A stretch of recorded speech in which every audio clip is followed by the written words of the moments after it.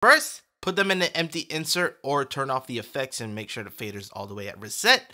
Next, we go here, hit this record button. Bam.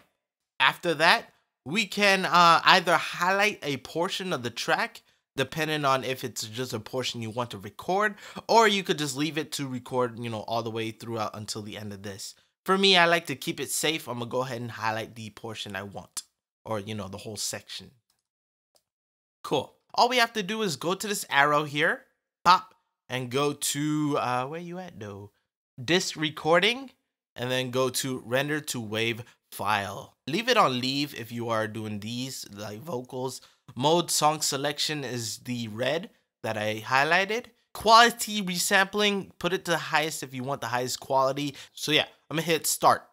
And after the rendering finished, it dropped a third track. Now we got more. Oh no. But this is actually these two combined. So this is in one take now.